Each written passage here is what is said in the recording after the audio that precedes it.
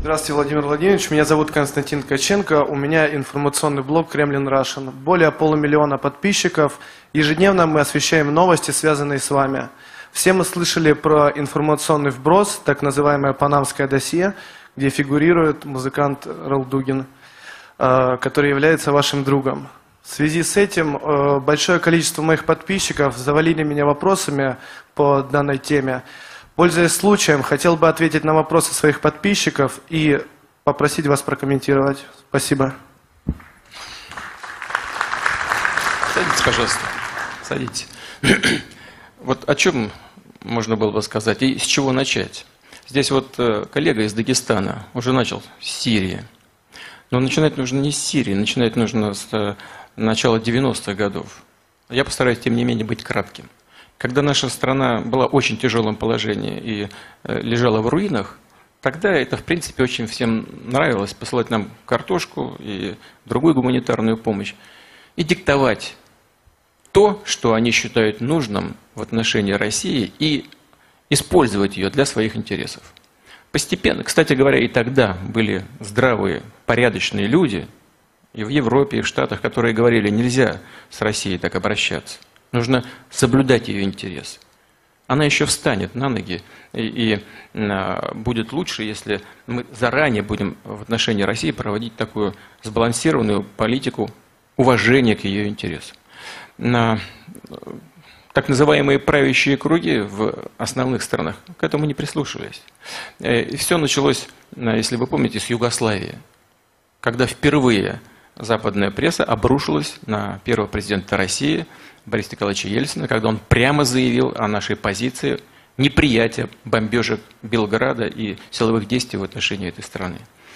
А дальше больше, а дальше а, появились проблемы, ну не проблемы, а, ну да, проблема на Украине, переворот, желание жителей Крыма присоединиться к России. Сейчас я не буду комментировать все в деталях, у нас и времени для этого нет, и формат другой наше отношение к событиям на юго-востоке Украины. Э, более мелкие вещи есть. Ну, такие, например, как э, невыдача господина Сноудена. Это все, э, как наши партнеры некоторые считают раздражителями в наших отношениях.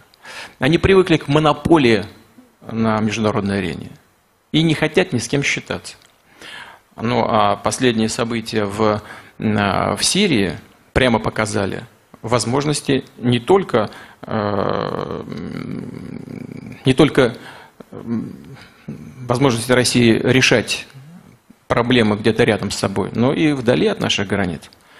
Но это для них не главное. Даже, даже то, что наша экономика, несмотря на все проблемы, которые мы сегодня переживаем, стала более независимой, самостоятельной а, и более самодостаточной – хотя у нас еще зависимость есть от нефти и газа и так далее. Тем не менее, сегодняшняя экономика почти в два раза больше, чем в начале, в начале 90-х годов, в начале 2000-х годов. Мы в два раза почти увеличили объем нашей экономики.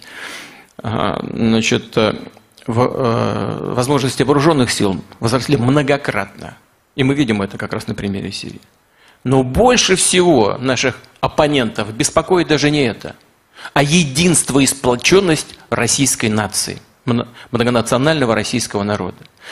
И э, в этой связи предпринимаются попытки раскачать изнутри, сделать нас более покладистыми и э, э, причесать нам, нас так, как им хочется. Самый простой способ какой? Это внести какое-то недоверие внутри общества к органам власти, к органам управления, настроить одних против других. Это с, с блеском было применено в трагические годы Первой мировой войны, когда страну просто довели до распада. А, сегодня это покушение с негодными средствами. Ведь э, вы здесь специалисты, все журналисты, правильно? Вы знаете, что такое информационный продукт. Вот э, по этим офшорам прошлись. Вашего покорного слуги там нет. Ну, не о чем говорить. Но задание-то есть. Надо работать. Чего сделали? Сделали информационный продукт. Нашли кого-то из моих знакомых и друзей. Я сейчас о них тоже скажу. Значит, что-то там поковыряли и слепили. Посмотрите, что... Я смотрел эти картинки. Там на заднем плане много-много людей, непонятно каких.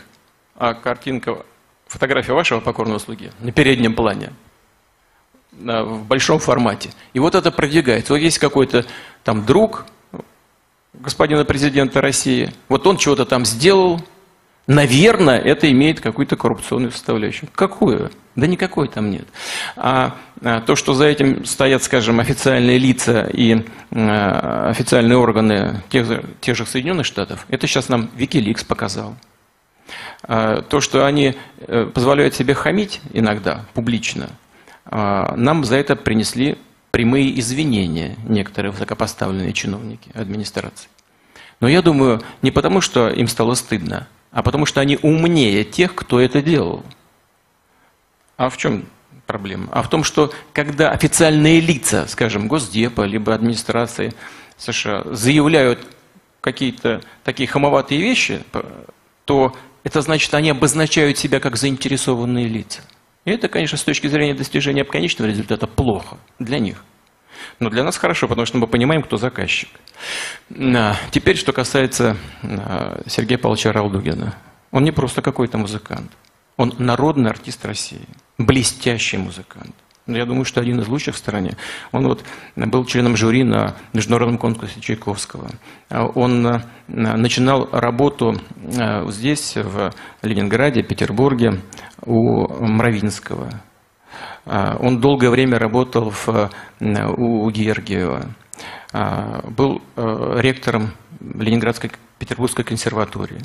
Но он человек творческий очень. Многие творческие люди в России, я не знаю, каждый второй может быть, если вы обратите внимание, пытаются заниматься бизнесом. И, насколько мне известно, Сергей Павлович тоже. Ну, какой его бизнес? Значит, он э, является мини- миноритарным акционером в одной из наших компаний. И там какие-то деньги зарабатывает. Но это, конечно, не миллиарды долларов. Чушь. Нет ничего подобного. Какие-то зарабатывает.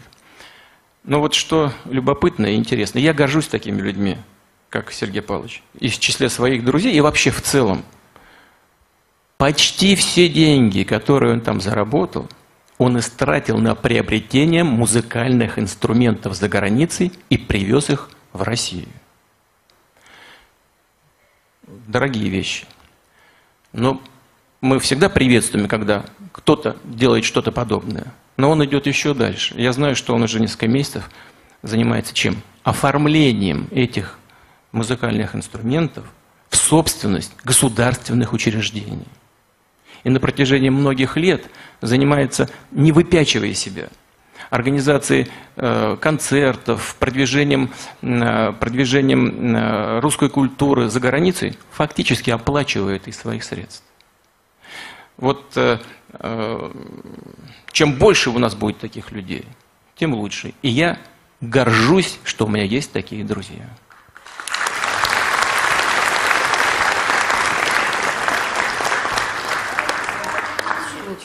Да, ну давайте сюда по- повернемся. Да, ну и как, якут там как не дать слово, пожалуйста.